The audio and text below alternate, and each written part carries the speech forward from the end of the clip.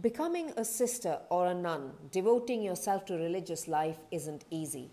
But I never realized just how much time it takes from joining a congregation to coming out the other side as a sister.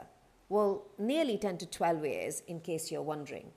The path of religious life or formation is a life devoted to Christ. We had a glimpse of it when we visited two congregations in Kerala the congregation of the Sisters of St. Martha in Thrissur, part of the Syro Malabar Church, and the congregation of the Daughters of Mary in Thiruvananthapuram, part of the Syro Malankara Church. The sisters here were so honest about their faith, something that's close to my heart. I always like to explore what an individual's faith means to them, simply because it's something special to each one of us.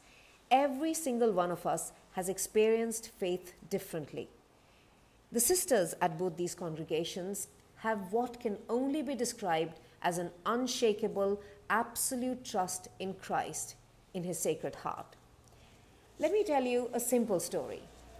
We met Sister Susanna, a junior sister. She's from Tamil Nadu, but spending a year in Kerala. She said whenever she feels like eating ice cream or having a chocolate, she asks Christ, in convents, usually, life is simple and meager. But whenever Sister Susanna asks for a sweet treat, she said she somehow gets it.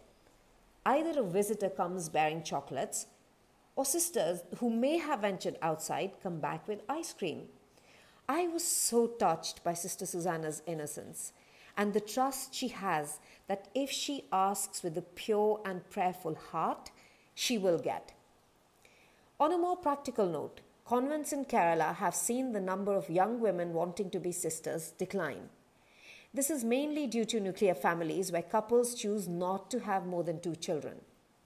It's also because of the phenomenal growth of technology and social media. Young people in Kerala these days like to spend their time on smartphones rather than going to church or spending time with family or praying or reading the Bible. The road ahead is challenging. But as Sister Susanna said, for things to fall into place, for everything to work out, we need to have a stable relationship with Christ. He never lets us down. We just have to believe.